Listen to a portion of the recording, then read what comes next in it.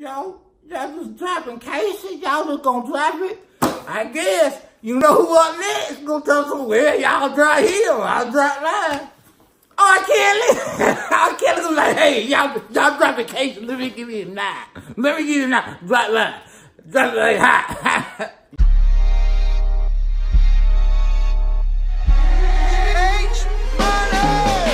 to be loved. Alright, y'all. What's up? It's your boy, Cito. I'm back. They done gave me my own platform. And guess what? Y'all know what I'm talking about. I'm talking about everything that's good, everything that's bad, anything. Talk about sports, life, or entertainment, or drama, drama. I'm talking about or politics. I'm talking about I'm talking about it all. You understand me? They get it. So what you is on with, I guess what I'll call it. Hmm. I know. What's your story? What's your story with Cecil? Tell me. Oh, if I don't already know, or you didn't already put your business in the street. and today, we gonna talk about your boy, Jussie Smollett. I wanna know how many y'all thought he was guilty on the 16 counts of felony charges that they indicted him on. How many think y'all he was guilty on that? Can we get your comments down below? Okay? And that being said, now, how many y'all thought he was innocent? Or thought he got attacked? Well, let me get the comments down below. Okay? So make sure y'all put those comments down below. Oh, I won't know. I love rapping. I should have been a rapper. Anyway, it just said, I want you come on my show and talk to me because I need to get some questions and I need to get some answers. You know what I mean? But anyway, so now they came back with, because let's just, just break it down real quick with. I'm going to break it down real quick. They say Jussie was attacked. He was just he was attacked and he was almost raped out there by some people, some quote quote, I don't know. People with ski masks on. They tied him up with a noose, almost hung the boy, and they beat him up real bad. He said it was two of them. Not one, not three, but two. Two people beat him up. Oh man, you know what? That sounds like when my grandma and my mama used to whip me for being bad. they were two unbeaten up. He went to the police station with the rope on neck.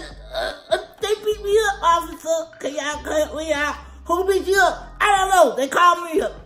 And they called me up. They, uh, then they say, your story don't line up. It ain't uh, lining up. So I'm like, don't line up. Why would you walk into the police station with the rope still on your neck? Maybe he wanted sympathy. Sympathy. Sympathy. Sympathy. I don't know. So, baby, I would have took it off. But he said, no, I want to show them what they did to me. They put bleach on me. They put bleach on you. You trying to be Michael Jackson. I know was. I know you want to be Michael Jackson. You want to be like Tupac. Well, I'm going to get to that anyway. That later on in the story. Now we get into the investigation. Now we find out that these two boys, men's, used to work with you. You done did, you done did, uh, you done did all kind of stuff with them. They was on Empire with you. Or I think they were training you. Don't know the whole story, something like that. Mix in I stick to the real fact that makes sense. But that didn't make no sense to your boy Cecil. They didn't let this boy, they gave this boy 16 counts of felonies. 16! One, two, three, four. 16 counts of felonies? Oh! You shouldn't walk away with that. That hard to beat 16. It's hard to beat 3, 2, and 1. But you walk away from 16? My God! That is hard to walk away from, son. You need to get on your knees and thank God right now. Change your life. Change your life, boy. I'm telling you. Tupac ain't that had that minute. So I guess what he's saying, he the real Tupac. He the gay Tupac. In the court documents, y'all just gonna do that? And you gonna let him lie to America?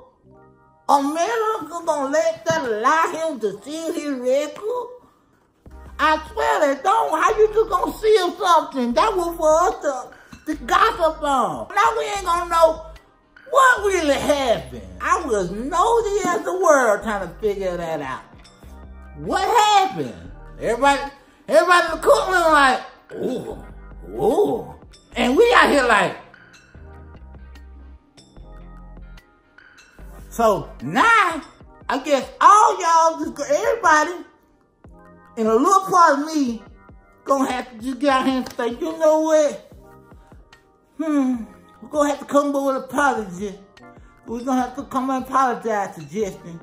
So, dear Jesse, behalf of me and my viewers that thought you was guilty, guilty, we would like to seriously, seriously apologize to you for bringing your own rope, your two Nigerian African friends to the forefront, and we thought you did something.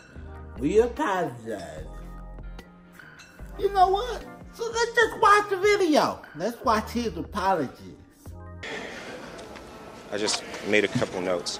Um, first of all, I want to thank my family, my friends, the incredible people of Chicago, and all over the country and the world who have prayed for me, who have supported me, who have shown me so much love. No one will ever know how much that has meant to me, and I will forever be grateful. I want you to know that not for a moment was it in vain. I've been truthful and consistent on every single level since day one. I would not be my mother's son if I was capable of one drop of what I've been accused of. This has been an incredibly difficult time, honestly, one of the worst of my entire life. But I am a man of faith, and I'm a man that has knowledge of my history, and I would not bring my family, our lives, or the movement through a fire like this. I just wouldn't. So I want to thank my legal counsel from the bottom of my heart. And I would also like to thank the state of Illinois for attempting to do what's right. Now, I'd like nothing more than to just get back to work and move on with my life. But make no mistakes, I will always continue to fight for the justice, equality, and betterment of marginalized people everywhere. So, again, thank you for all the support. Thank you for faith, and thank you to God. Bless y'all. Thank you very much. You can fight the adjustment, but they gonna fire you off Empire. Mm-hmm.